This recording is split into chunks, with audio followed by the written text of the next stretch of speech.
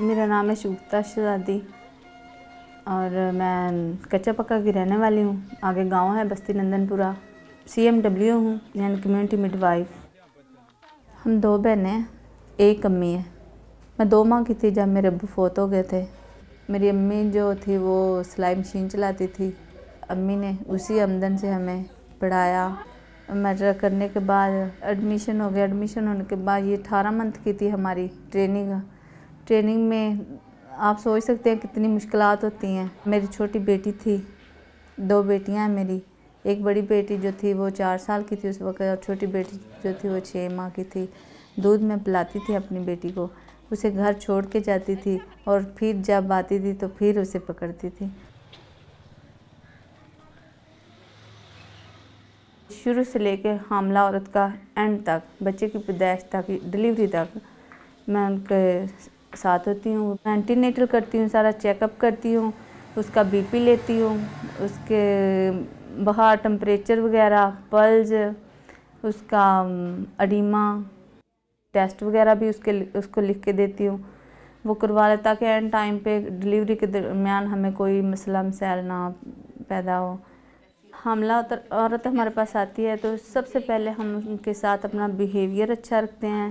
बहनों की तरह उसके साथ करते हैं तो वो फिर ज़्यादा इंटरेस्ट वो भी होती है। आधी बीमारी तो मरीज़ की ऐसे ही कट जाती है, अगर उसके साथ कोई शखलाकी के साथ पेश आए तो। जब मैं पैदा हुई थी, इससे तकरीबन तीस साल पहले की बात है तो उस वक्त अम्मी बताती है कि दर्दें शुरू हुई तो एक दाई आई। अम्मा सी दाई थी, ना उसने हाथ धोए धोए, ना कुछ भी नहीं, उसने मुझे चेकअप किया।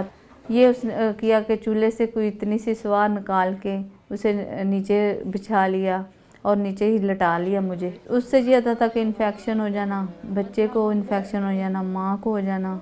अब वो ज़माना नहीं रहा है।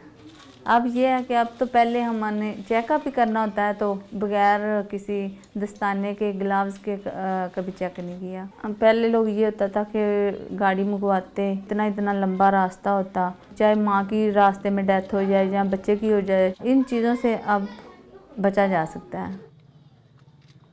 मेरा एरिया तकरीबन जहाँ पे आठ दस गाँव होंगे, जो पहले मुझसे रबता करते हैं।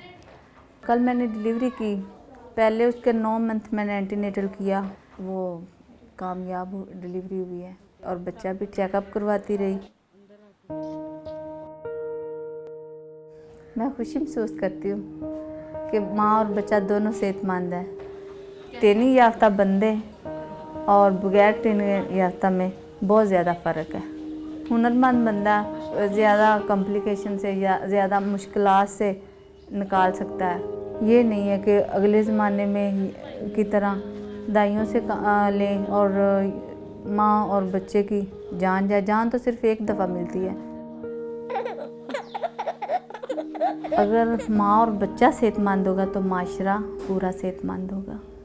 अगर माँ ही नहीं ठीक, सेहतमंद तो उसका बच्चा भी सेहतमंद नहीं होगा। इसलिए आने वाली जो नस्ल हमारी है, अगर बच्चे ठीक होंगे तो आने वाली नस्ल वो सेहतमंद होगी।